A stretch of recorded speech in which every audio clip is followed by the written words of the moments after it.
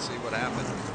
Like maybe just got loose and then into the wall. Some front end damage.